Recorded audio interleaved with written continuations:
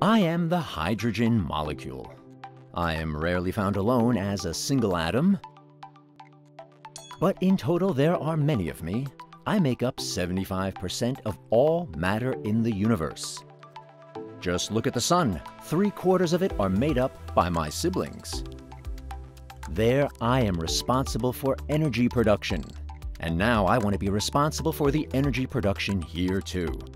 Because I am the number one of all energy carriers. Let me show you why. I consist of one proton and one electron each, and therefore I am the first and lightest element. But above all, I have the highest energy density.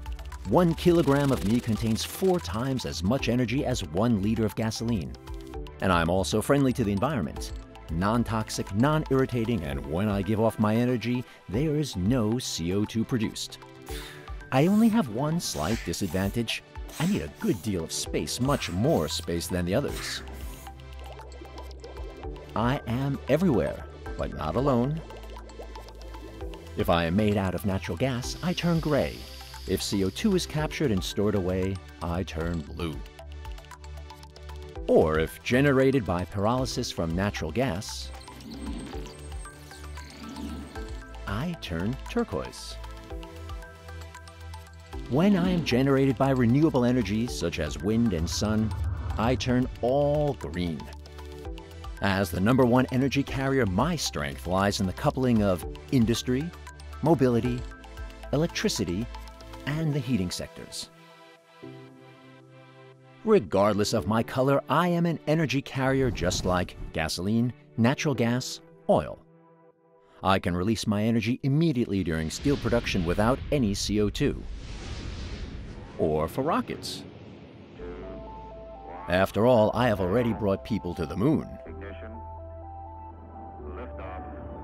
or for vehicles with fuel cells.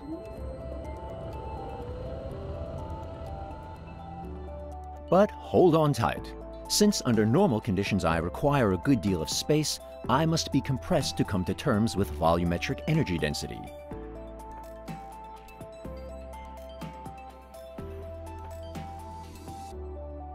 Oh, and now it's going to get cozy. We are at 350 bar and up to 700 bar. This is how we ensure a very wide operating range for vehicles. And for the transportation of large quantities, we gladly squeeze into a pipeline or have ourselves stored in a cavern. Oh, and ever so tightly compressed, we set another record.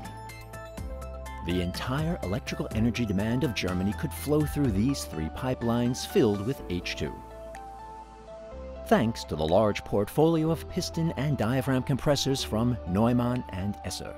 Whenever hydrogen is compressed, transported, or stored, Neuman and Esser have been the hydrogen experts for over 100 years. That's because the top performer of energy carriers deserves peak compression performance.